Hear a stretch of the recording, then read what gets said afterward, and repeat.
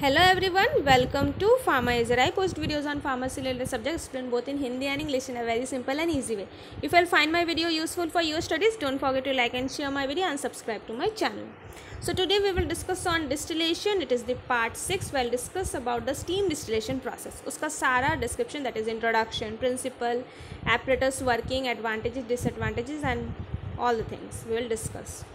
So starting with the introduction and the principal portion so basically क्या होता है? In steam distillation impure compounds are distil that is impure compounds को अलग करने के लिए जनरली स्टीम डिस्टिलेशन प्रोसेस का यूज़ किया जाता है.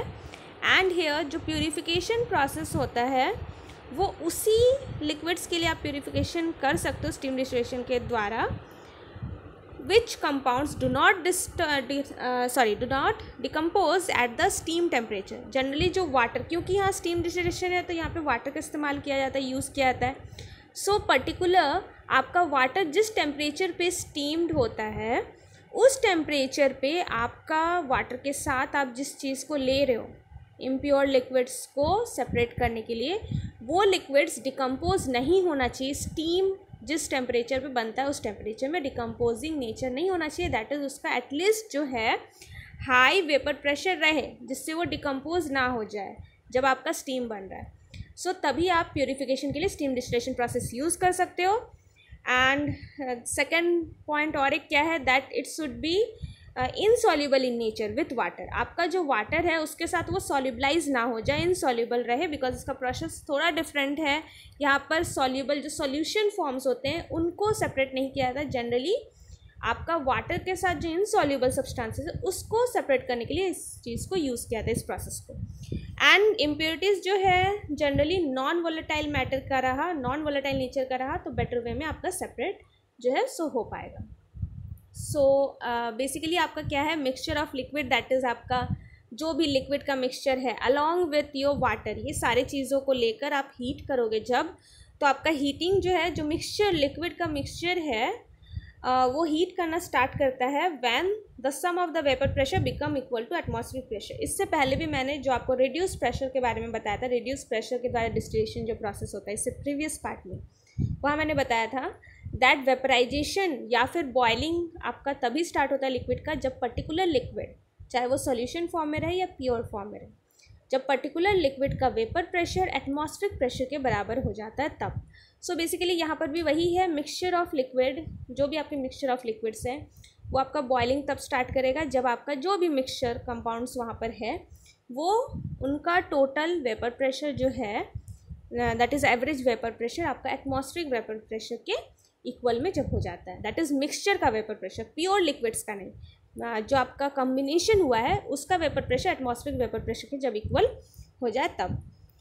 सो so, इसी को बेटर वे में समझने के लिए let P one be the vapour pressure of water मान लीजिए वाटर का वेपर प्रेशर है P one and P two आपका जो ऑर्गेनिक लिक्विड्स होंगे उसका वेपर प्रेशर है पी टू नाउ आपका डिस्टिलेशन प्रोसेस में स्टीम डिस्टिलेशन प्रोसेस में जो आपका लिक्विड मिक्सचर है it will start boiling when P one plus P two that is water का vapour pressure plus organic liquids का vapour pressure P one plus P two becomes equal to atmospheric pressure so तब जब तब आकर जो है आपका liquid mixture boil होना स्टार्ट होता है।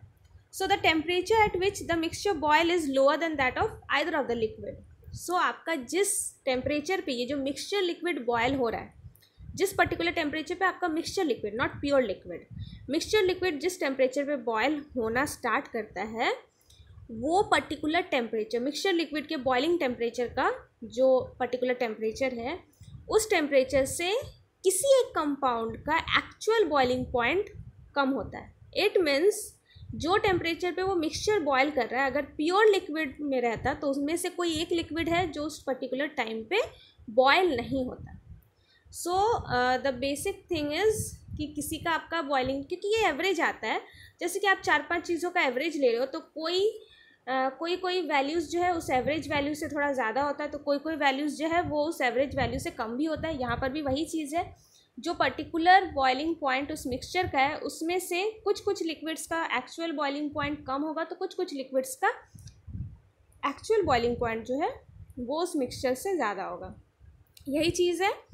Then, the temperature at which the mixture boil remain constant until one of the liquid is completely removed from the still.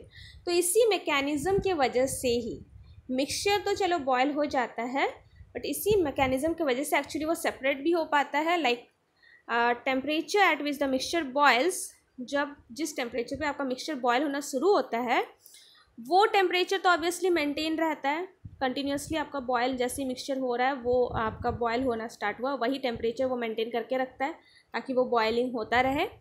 आपका कंटिन्यूसली बॉयलिंग लिक्विड्स का होते रहता है एंड तब तक आपका जो है वो टेम्परेचर को मेंटेन बेसिकली रखा जाता है बॉयलिंग टेम्परेचर को, जब तक कि एक लिक्विड कम्प्लीटली आपका रिमूव ना हो जाए। तो इसको समझने के लिए प्रोसीड्यूर को आपको समझना होगा।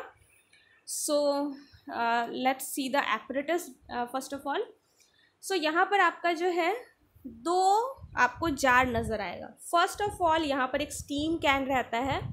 स्टीम कैन जिसमें कि टू होल्स बने हुए रहते हैं। वन होल में आपका सेफ्टी ट्यूब रहता है टू रिलीव द प्रेशर अगर आपका अंदर क्योंकि स्टीम बन रहा है तो स्टीम का जो प्रेशर है, वो एक्सेस में ना हो जाए हाई प्रेशर को प्रिवेंट करने के लिए हाई प्रेशर की वजह से बर्स्ट ना हो जाए कोई, कोई भी चीज़ उसको प्रिवेंट करने के लिए जो है सेफ्टी ट्यूब एक लगा रहता है जो क्या करता है हाई प्रेशर जब जनरेट हो जाए तो वाटर को वहाँ से फोर्स करके it forces out the water आपका वाटर जो है उस सेफ्टी वेल्व से बाहर निकल आता है फोर्स के द्वारा जिससे क्या हो कि प्रेशर जो है वो रिलीज़ हो सके रिलीफ हो सके हाई प्रेशर की कंडीशन में. अदरवाइज़ नहीं होगा. So also when steam start coming out from the safety tube indicates that steam can is almost empty साथ ही साथ, जब आपका स्टीम जो है, वो आपके सेफ्टी वेल्व से अगर निकल कर आ रहा है तो ये इस चीज़ का भी इंडिकेशन रहता है दैट अभी जो है, आपका जो कैन है स्टीम कैन उसके अंदर जो पानी है, वो ख़त्म होने लगा है, यानी कि स्टीम अब बचा नहीं। बिकॉज़ स्टीमिंग के द्वारा ही आपका जो है प्रोसेस चल रहा है।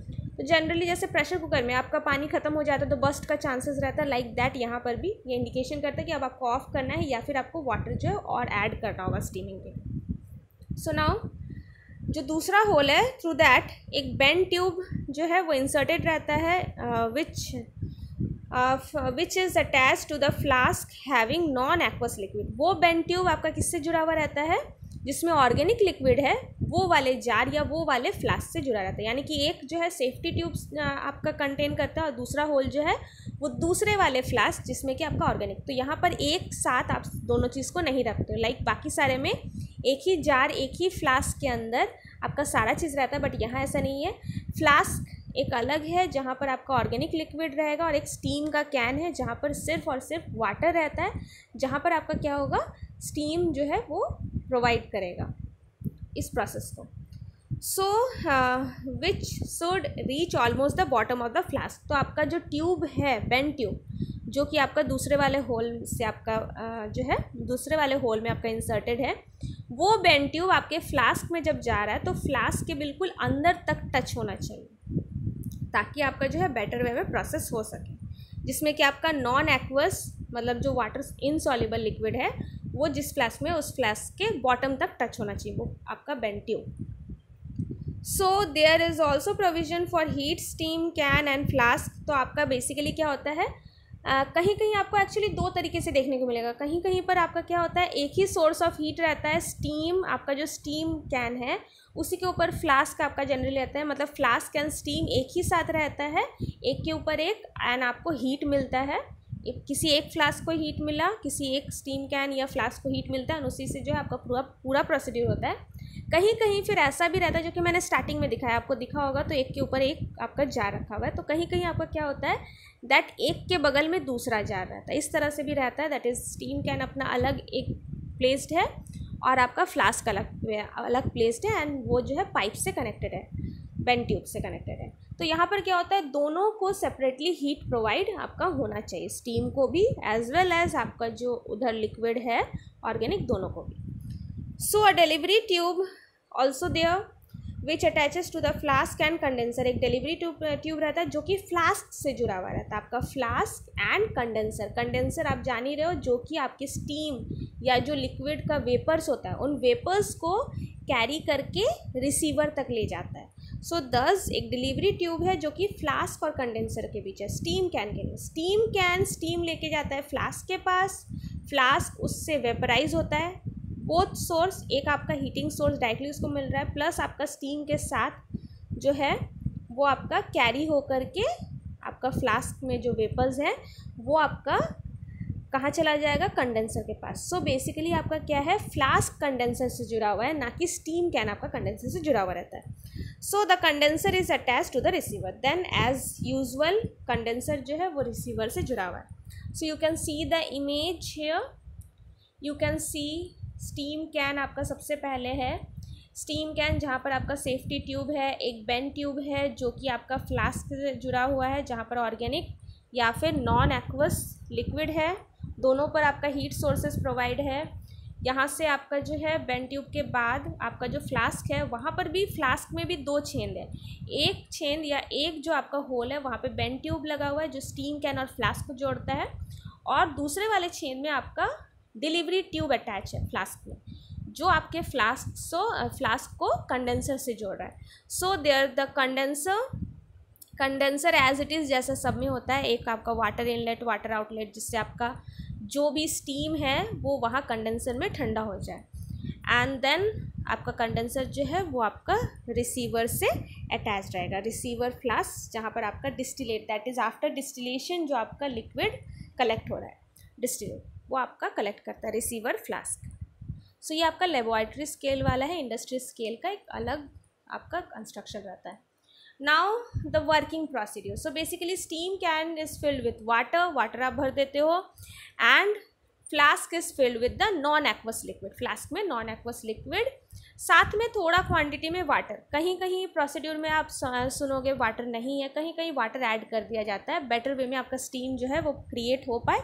इस चीज़ के लिए कहीं कहीं वाटर आपका जो है वो ऐड कर दिया जाता है अलॉन्ग विथ स्मॉल अमाउंट में, ज़्यादा नहीं स्मॉल अमाउंट में with that non aqueous liquid so the flask and the steam दोनों को जो है आपको साइमल्टेनियसली हीट करना है, दोनों को साथ साथ नाउ स्टीम जो है, वो आपका फॉर्मेशन शुरू होगा इस bubble through the content in the flask steam जो है, वो आपका फ्लास्क में भी स्टीम ऑब्वियसली बन रहा है क्योंकि वहाँ पर भी वाटर है तो वहाँ पर आपका बबलिंग स्टार्ट हो जाएगा बबल्स बनना स्टार्ट होगा। As well as steam can से भी आपका स्टीम्स जो है, वो फ्लास्क में जाएगा, वहाँ से भी आपका फ्लास्क प्लस फ्लास्क में जो लिक्विड्स है अलॉन्ग विथ आपका जो वाटर के स्टीम से दोनों मिक्सअप होगा। Now the vapour of the compound mix up with steam vapour जो आपका है, वो आपका स्टीम के साथ मिक्स होगा। तो आपका जो कंपोनेंट लिक्विड कंपोनेंट है, वो आपके स्टीम के साथ मिक्सअप होगा and the organic compounds passes through a container that has cold water entering inside from one end so आपका क्या होगा? इस तरह से जो पूरा वेपर मिक्सचर है दैट इज़ मिक्सचर लिक्विड का जो वेपर है वो आपका कंडेंसर में एंटर करेगा। कंडेंसर में आपका वाटर इनलेट वाटर आउटलेट है, जिससे क्या होगा, जब वो ठंडा होगा। मिक्स होकर सारा का सारा एक साथ, क्योंकि वो तो मिक्सचर लिक्विड बन रहा है, सारा का सारा एक साथ ज़रूर आपका मिक्स वेपर बन रहा है। बट जब वो कंडेंसर में जाता है एंड ठंडा होना शुरू होता है, ठंडा होने पर जिसका, अब वहाँ पर आपका प्यूरिफिकेशन बेसिकली कंडेंसर पे ही आपका स्टार्ट होता है। जिसका आपका क्या है दैट जिसका कूलिंग टेम्परेचर पहले आता है, जो जल्दी आपका कंडेंस्ड हो सकता है बिकॉज़ वहाँ पे आप वाटर दे रहे हो वाटर का सर्कुलेशन होता है कंडेंसर के चारों तरफ़, जिससे क्या होता है, वो वाटर तो टैप वाटर रहता है कोल्ड वाटर रहता है, जिससे आपका जो वो हॉट मिक्सचर वेपर है, वो अब ठंडा होगा। तो एक के बाद एक आपका according to its cooling temperature एक के बाद एक जो है, वो ठंडा होता जाएगा। कोई जल्दी ठंडा होगा, कोई थोड़ा देर बाद, इस तरह से one by one one by one वो क्या होगा, अपना रिसीवर में जो है जाएगा। अगर वो एक साथ रिसीवर में चला भी जाए तो भी आपका क्या होगा दैट लेयर बाई लेयर आपको लिक्विड्स का नज़र आएगा।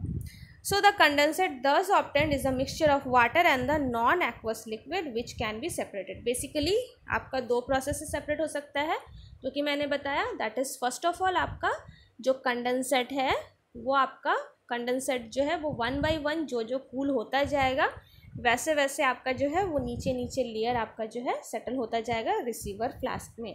तो सबसे पहले लिक्विड बना वो नीचे रहेगा, फिर उसके बाद जो है वो उसके ऊपर रहेगा, उसके बाद इस तरह से आपका लेयर बाय लेयर बनते जाता है। क्योंकि वो तो आपका वाटर के साथ इनसॉल्यूबल है तो आपको लेयर्स जो है वो क्लियरली नज़र आएगा। इवन आपके वाटर का जो लेयर है, वो भी आपका अलग रहेगा, जिसको आप अलग से देन सेपरेट करें। So when the setting, settling process occurs, the extracted organic compound come to the top. So इस settling process में क्या होता है? जो organic कॉम्पोनेंट रहता है, वो आपके ऊपर में रहता है। Then there separation takes place by filtering out the water from below so यहाँ पे आप कैसे कर सकते हो? सेपरेशन दैट इज़ वाटर को नीचे, क्योंकि आपका वाटर तो नीचे है, जो आपका सेपरेटिंग फनल लाइक आपका रहता है आप उस रिसीवर की जगह आप वहाँ पर डायरेक्टली सेपरेटिंग फनल को पुट कर सकते हो रिसीवर फ्लास्क की जगह, जिससे क्या होगा, आराम से आप दोनों लेयर्स को अलग कर सकते हो। दैट इज़ वाटर का लेयर नीचे एंड देन ऑर्गेनिक ऊपर। इससे बेसिकली क्या होगा, जैसे कि प्लांट हर्बल एक्सट्रैक्ट्स को भी आप इससे निकाल सकते हो। कैसे? आपके जो हर्ब्स है, वो तो ऑब्वियसली आपका स्टीम के द्वारा नहीं निकलेगा बट हर्ब्स के अंदर मौजूद जो ऑर्गेनिक लिक्विड है हर्ब्स में जो ऑयल कंस्टिट्यूंट्स रहते हैं, वो आपका स्टीम के द्वारा कैरी होकर यहाँ आ जाएगा एंड आपका जो हर्ब है, वो आपका एज इट इज़ आपके फ्लास्क में ही वही आपका रह जाएगा एंड लिक्विड आपका इधर रिसीवर में आ जाएगा दैट इज़ जो उनका एक्सट्रैक्ट्स है। सो एनी वेज देन आपका uses so steam distillation process uh, is used for uh, separation of immiscible liquids basically आपका immiscible liquid जो कि मैंने बताया अगर आपका वहाँ जो liquid flask में था वहाँ पे दो या तीन liquids भी रह सकते थे but mixture नहीं होना चाहिए they should be immiscible type of nature then uh, this method is used for extraction of volatile oils such as clove eucalyptus cloves eucalyptus ये सब आपका जो है हर्ब्स से निकलता है तो इन सबको एक्सट्रैक्ट करने में आपका यूज़ किया जा सकता है स्टीम डिस्टिलेशन जो मैंने अभी बताया आपको, किस तरह से एक्सट्रैक्ट कर सकते हो क्लोव यूकेलेप्टस आपका रह जाएगा बट उनमें मौजूद जो ऑयल्स हैं ऑयल्स के कंस्टेंट्स वेपर के द्वारा दैट इज़ स्टीम के द्वारा आपका कैरी हो जाएगा। This process use for determination of percentage of volatile oil in the drug इससे आप जो है ऑब्वियसली जितना एक्सट्रैक्ट हो रहा है, उससे आपको पता चलेगा कितना परसेंटेज एक्सट्रैक्ट जो वॉलेटाइल एक्सट्रैक्ट है, वो किसी भी ड्रग में मौजूद है। Should be sorry it is useful for extracting most fat oil and waxes generally जितने भी फैटी सब्सटेंसेज होते हैं, उसका एक्सट्रैक्शन में आपका यूज़ किया जाता है steam distillation process steam distillation is use for oil extraction and also used in fragrance and essential oil industry generally जो फ्रेगनेंस के लिए आपके सब्सटेंसेस होते हैं, वो ऑर्गेनिक सब्सटेंसेस होते हैं एसेंशियल ऑयल्स होते हैं तो एसेंशियल ऑयल इंडस्ट्रीज़ में इन सब का एक्सट्रैक्शन या प्रिपरेशन जो है, वो स्टीम डिस्टिलेशन के द्वारा होता है प्योरीफिकेशंस वगैरह. एंड ऑयल एक्सट्रैक्शन वगैरह जो होता है, वहाँ पर भी आपका इसका यूटिलाइजेशंस है। So now talking about the advantages and disadvantages but, uh, but before that today's iq facts so today's iq fact is about the body part with no blood supply yes cornea it is the one that has no blood supply and it gets oxygen directly from the atmosphere आपके आई में जो cornea है cornea एक ऐसा इकलौता part है आपके body का जहाँ पर कोई भी ब्लड वेसल्स नहीं मौजूद होते and as you all know blood जो है वो ऑक्सीजन को कैरी करता है हेमोग्लोबिन होता है आरबीसी के अंदर जो कि आपका ऑक्सीजन कैरी करता है इसी से आपके पूरे बॉडी को ऑक्सीजन सप्लाई मिलता है। सो so, अगर कॉर्निया के पास ब्लड वेसल्स नहीं है तो उससे कहाँ से ऑक्सीजन मिलेगा? तो डायरेक्टली वो एटमोसफेयर से क्योंकि वो आपके एटमॉस्फेयर के कॉन्टैक्ट में आ सकता है thus directly from the from the atmosphere वो अपना ऑक्सीजन जो है, वो कंज्यूम करता है। So anyways with this I Q fact let's let's move to the advantages and disadvantages so so the advantage the method generates organic solvent free product यहाँ आपको जो है ऑर्गेनिक सॉल्वेंट फ्री प्रोडक्ट मिलेगा, यानी कि आप किसी प्रोडक्ट को ऑर्गेनिक मतलब कोई भी प्रोडक्ट में से आप ऑर्गेनिक सब्सटेंस को सेपरेट करना चाहते हो, अलग करना चाहते हो तो वो आपको मिलेगा। बिकॉज़ ये सेपरेशन के लिए आपका यूज़ होता है ऑर्गेनिक सब्सटेंस को सेपरेट करने के लिए। Then there is no need for subsequent separation step यहाँ पे अलग अलग करके एक एक करके सेपरेशन नहीं करना पड़ रहा है। एक साथ ही जो है, आपका अलग से सारा लेयर्स बन जा रहा है, जो आप फर्दर सेपरेटिंग फनल से अलग अलग करके निकाल ले सकते हो।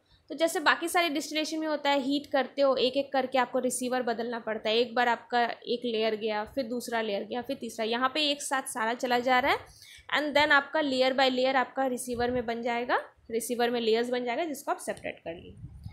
सो देन प्रोसेस जो है, आपका लार्ज कैपेसिटी का प्रोसेस है, जो इंडस्ट्रियल स्केल में इजीली यूज़ किया जा सकता है। इक्विपमेंट जो है, वो इनएक्सपेंसिव है, बहुत ज़्यादा कॉस्टली नहीं है। एंड बहुत ही लेस फ्यूल का रिक्वायरमेंट होता है इन दिस स्टीम बॉयलर और आपका जो स्टीम डेवलप हो रहा है, उसमें आपका जो फ्यूल लगता है, जो एनर्जी लगता है, वो काफ़ी कम अमाउंट में लगता है एक्सट्रैक्शन ऑफ़ ऑयल के लिए। डिसएडवांटेज क्या है? दैट इज़ फ़र्स्ट टाइम जब सेटअप होता है at that time the steam distillation has a higher initial cost आपका स्टार्टिंग में जब इक्विपमेंट्स को आप सेटअप कर रहे हो तो थोड़ा सा इन्वेस्टमेंट आपको जो करना पड़ता है। That's enough so anyways with this हमारा आज का वीडियो कंप्लीट हो रहा है। Next we will talk about the molecular distillation process for more videos you can go and check my channel so, hope that you have found my video useful. If yes, then press the bell icon to get the notifications. And one more thing that I had got many comments बहुत सारे comments मेरे पास notes के लिए भी आए आए हैं previously so I have started a blog मैं लिंक डिस्क्रिप्शन बॉक्स में डाल दूँगी, जहाँ पर मैं जो है, यही जो वीडियोस को मैं एक्सप्लेन करती हूँ, उन वीडियोस का मैं नोट्स वहाँ पर प्रोवाइड करूँगी। बाय दैट आपको जो है वीडियोस को यहाँ मेरे यूट्यूब वीडियोस को पॉज कर करके नोट्स लिखने की ज़रूरत नहीं पड़ेगी। If you want to collect the notes आप उस ब्लॉग का लिंक मैं डाल दूँगी तो आप उस ब्लॉग को ओपन करके पर्टिकुलर नोट्स को जो है कलेक्ट कर सकते हैं। जो भी वीडियोज़ मैंने ऑलरेडी बनाया हुआ है उस सारे का नोट्स मैं वन बाई वन उस पर अपलोड करते जाऊँगी। so anyways with this i'm ending the video. Thanks for watching and bye bye